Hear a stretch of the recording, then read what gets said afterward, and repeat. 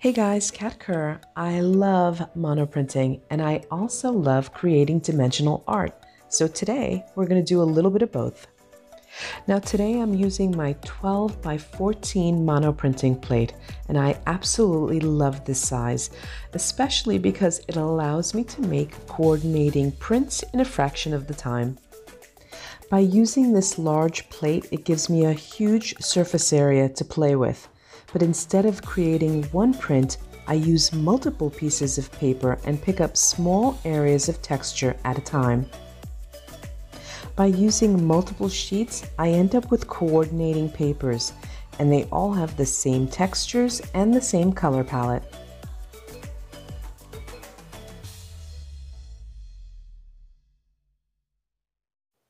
Now I'm using a lighter color acrylic paint and the same stencil on all of the prints.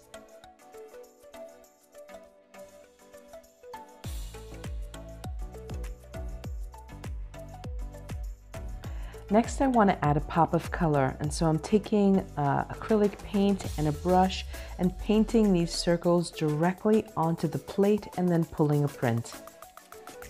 Now you can do this directly onto your prints, but I prefer to use the plate because I often get a ghost print.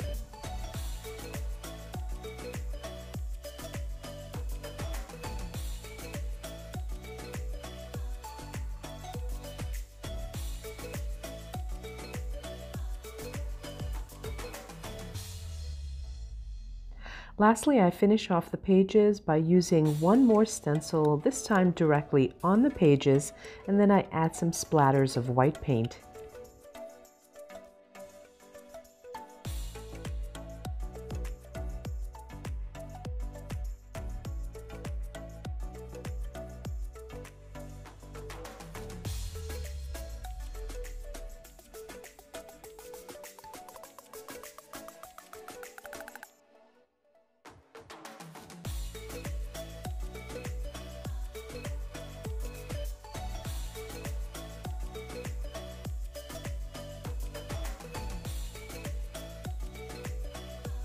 Now I love using my mono prints in my journals or other paper arts, but I'm always looking for something a little bit more dimensional.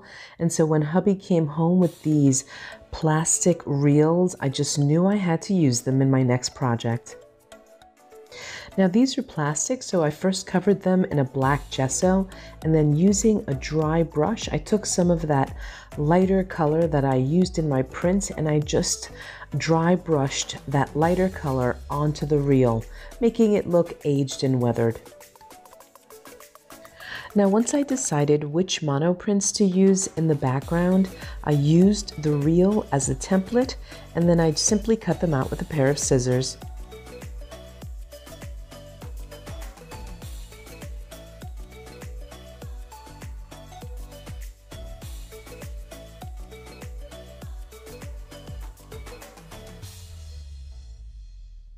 Next, I wanted to add some sort of focal to the reel, and so I added a piece of mono print and then I added a wood frame and some other wood embellishments.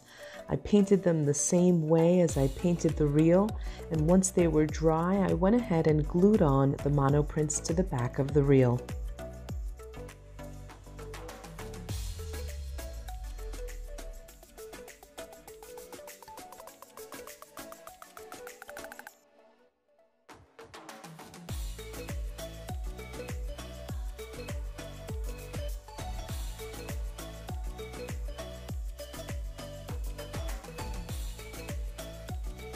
I finished this piece by adding some gold Marabu art spray as well as a text to the butterfly and this piece is done. Now what I love about this project is that you can keep it as simple or you can embellish as much as you want. You can take the spaces in between each reel and decorate them individually you can add elements just like a journal page, and you can also embellish the front of that reel. A lot of possibilities. Well, I hope that you enjoyed this tutorial. For the complete list of materials, check out that description below. Thanks for watching.